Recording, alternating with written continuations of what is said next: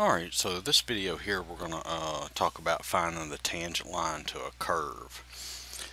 Alright, so it says find an equation of the tangent line to the curve at the indicated point. So we have our function f of x equals x over x minus 1 and we want to find the equation of the tangent line at the point 2, 2.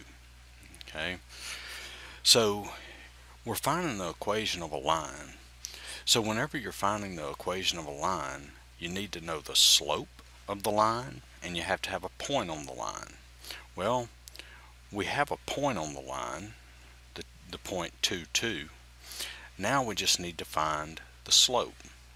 Well, to find the slope, we can take the function, this f of x here, find the derivative, and evaluate it at this point, and that will give us the slope of the tangent line at this point 2 2 so I've got I've got f of x is equal to now to take the derivative of this remember we have to use the quotient rule so it's the derivative of the numerator which is 1 times the denominator minus the derivative of the denominator.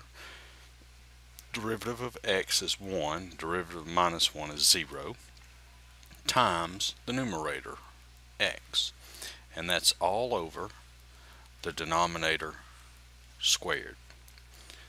I'm sorry, this is f prime of x.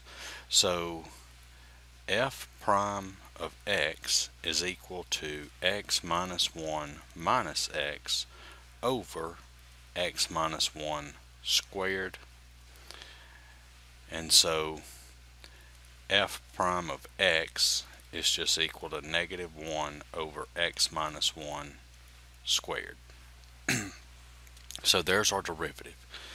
Alright, so now to find the slope, the slope m is just the derivative evaluated at this point.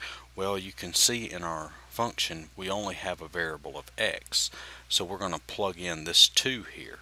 Okay, I know both of them's a 2, but we're plugging in the x coordinate so f prime of 2 is equal to negative 1 over 2 minus 1 squared and this is going to give us a slope of negative 1.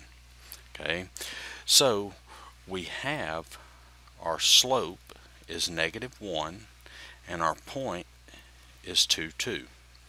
So we're finding the equation of the line that has a slope of negative 1 and passes through the point 2, 2. So we can use the point slope form of the line. And remember the formula for that? That's y minus y1 equals m times x minus x1. Alright, so we just plug everything in. So we get y minus 2, we're plugging this 2 in, equals m, which is negative 1, times x minus x1. And here's our x1, the 2. Okay, Just remember, this is x1 and this is y1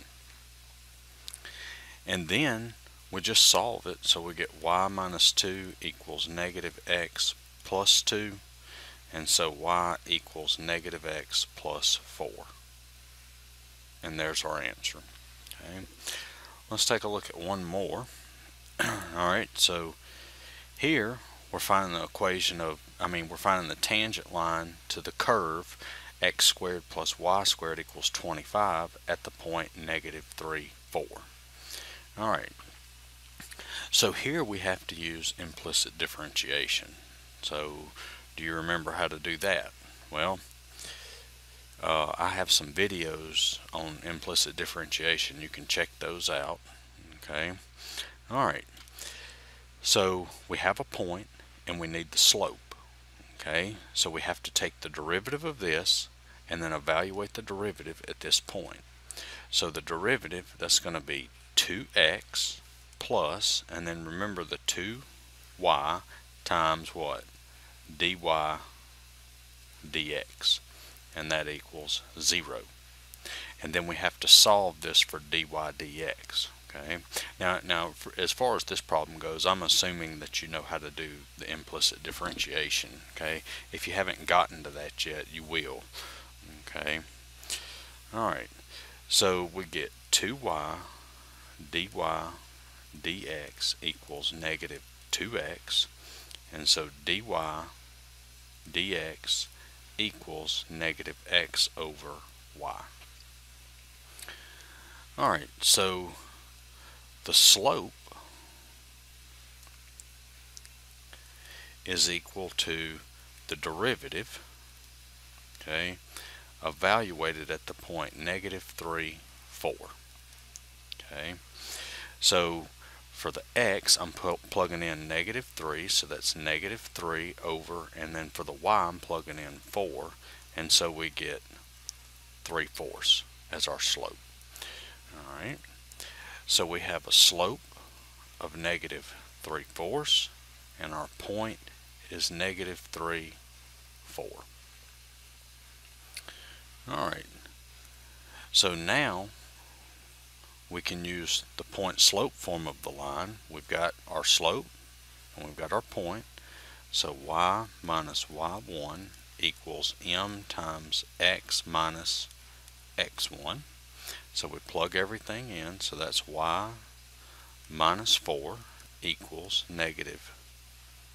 I'm sorry. It's not negative 3 fourths.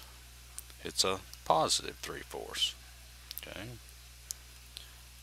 So 3 fourths times x plus 3. Okay, so when I, you see where the plus came from. When I plug in the negative, that's x minus a negative 3, which becomes positive. Okay. Alright, and then we just solve for uh, y. So y minus 4 equals 3 fourths x plus 9 fourths and so y equals 3 fourths x and then I add the 4 to both sides. So that's going to give me what 25 over 4 that would be when I add the 4 that'll get a common denominator of 4 so that becomes a 16 okay. And there's my answer. Alright so just remember whenever you're finding the the equation of the tangent line it doesn't matter what uh, derivative rule you have to use, whether it's the product rule, the quotient rule, or the power rule, or the chain rule, or use implicit differentiation. The main thing that you have to understand is that you have to take the derivative of the function and then evaluate the function at that point and that gives you the slope of the line and then you can use the point slope form here to plug in your slope and your point that you're given to find the equation of the line. Alright, so I hope this has helped. Uh, I'm going to do a couple of videos, um, well, one video on finding the equation of the normal line. Okay, and it's it's pretty much just like this. It's just a little bit different when we find the slope. Alright, so uh, if you like the videos, you can subscribe. Alright, thanks.